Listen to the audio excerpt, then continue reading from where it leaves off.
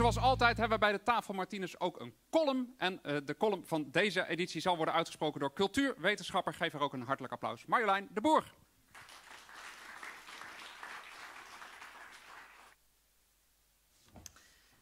Ik wil beginnen met een bekentenis. Ik ben verslaafd aan televisieseries. Netflix, HBO, Disney NPO, ik heb ze allemaal uitgespeeld.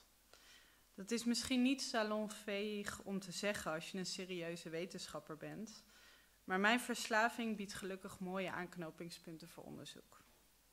De laatste tijd ben ik namelijk verslingerd aan series waarin de overgang een centrale rol speelt.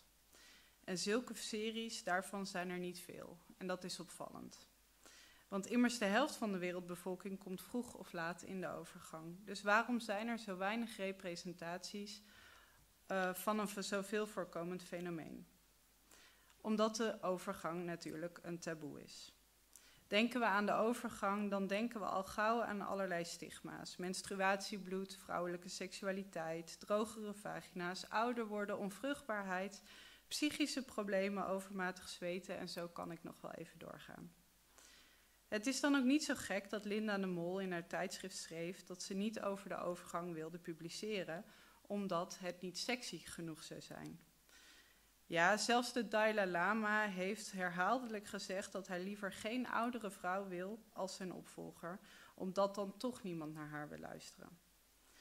Maar het is belangrijk om het op een betekenisvolle manier over de overgang en over ouder worden te hebben. En om het te laten zien in bijvoorbeeld tv-series. Mensen geven namelijk betekenis aan zichzelf door te refereren naar grotere verhalen of mythes.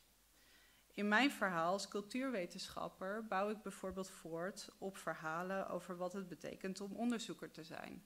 Dat het niet salonveeg is om veel televisie te kijken, maar dat ik vooral zware filosofische boeken zou moeten lezen. Maar als die mythes of verhalen ontbreken, zoals bijvoorbeeld in de overgang, dan is het moeilijk voor mensen die in de overgang zitten om betekenis aan zichzelf te geven. Het is dus niet alleen eigen belang als ik ervoor pleit dat er meer series over de overgang zouden moeten zijn. Maar alleen meer series is niet genoeg. Deze series over de overgang moeten ook op een bepaalde manier eh, de overgang in beeld brengen. Want als ik kijk naar de huidige series, dan word ik daar niet zo vrolijk van. Ze hangen van clichés aan elkaar. Vrouwen in de overgang die lijden aan Legenes-syndroom, vliegen je om de oren. Of ze worden neergezet als wijs of mild of als lelijke heksen. En geile, seksende vrouwen in de overgang, die heb ik helemaal niet gezien. Dus nu zou je denken, waar maak je je druk om? Het is toch maar vermaak? Inderdaad, maar we moeten niet vergeten wat deze clichés vertellen, vrouwen vertellen over zichzelf. Dat zelfs als hun kinderen ouder worden en het huis uitgaan, dat hun voornaamste wens nog steeds is om te zorgen voor een ander. Dat als ze niets meer kunnen voldoen aan het schoonheidsideaal van jeugdige vrouwelijkheid, dat ze lelijk zijn. En dat goede seks niet meer tot het rijk der mogelijkheden behoort.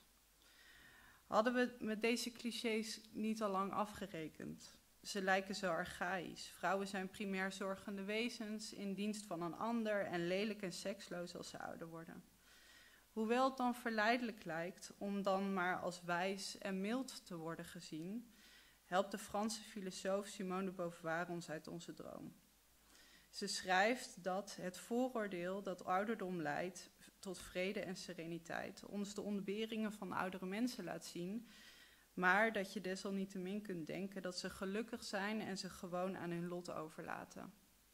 Serene oudere mensen, daar hoef je je immers niet druk over te maken, ook niet als ze het zwaar hebben. Maar er gloort hoop, want vorige week heb ik een serie gebingewatcht die precies deze zienswijze over vrouwen aan de kaak stelt. En nog op een grappige manier ook. Clichés over de overgang worden herhaald, uitvergroot en in het absurde getrokken en daarmee bespot. Dus vanavond stuur ik u naar huis met een opdracht. Neem een proefabonnement op Disney Plus. Ga Better Things kijken. Ik zal geen grote plotwendingen verklappen, maar ter afsluiting wil ik wel een tipje van de sluier lichten. Ergens in het vierde seizoen komt u namelijk deze geweldige monoloog van de vrouwelijke hoofdpersoon tegen een vrouw zijn. Dat is opgebouwd worden en dan weer in de steek worden gelaten. Je wordt verzorgd en misbruikt, aanbeden en lastiggevallen en vereerd. En dan stopt het allemaal.